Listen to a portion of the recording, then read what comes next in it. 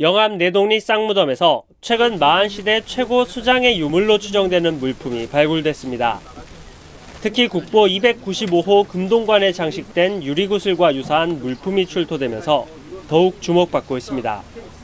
이 내동리 쌍무덤 발굴 조사 결과 반남 고분과 비슷한 세력을 가지고 있었던 그 이 지역에 수장층이 있었다는 것을 여러 이번에 고각적인 자료로 이렇게 확인할 수 있었다는데 가장 큰 전라남도에는 나주와 영암 등의 마한시대 고분이 164개 남아 있습니다.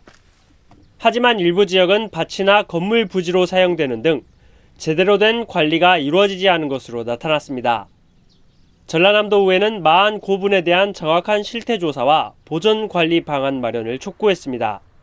어, 앞으로 해야 될 일은 많이 있습니다만은 어, 거기에 뭐 노, 뭐가 들었을지 모르지 않습니까? 예. 네, 그런 부분들 미리 좀 관리를 사전에 좀 어, 땅 주인들하고 해야 되지 않을까 싶고요. 네. 나주와 영암에서 다섯 번째 진행하고 있는 마한 축제를 통합해야 한다는 주장도 제기됐습니다. 비슷한 시기에 같은 주제를 가지고 7억 원에 가까운 사업비를 쓰는 만큼 통합하거나 대안이 필요하다는 겁니다. 이 나주와 영암이 축제 통합 원칙에 동의하고 있는 만큼 전라남도 차원의 적극적인 역할이 필요하다고 촉구했습니다. 전라남도는 관련 부서 협의를 통해 축제 통합에 대한 대책을 마련하겠다는 입장입니다.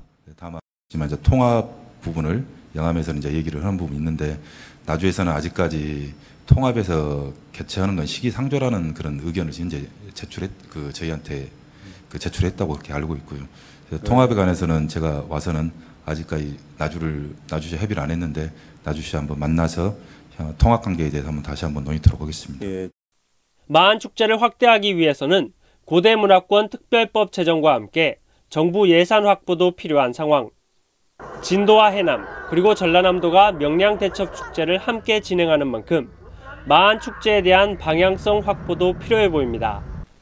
헬로티비 뉴스 박종호입니다.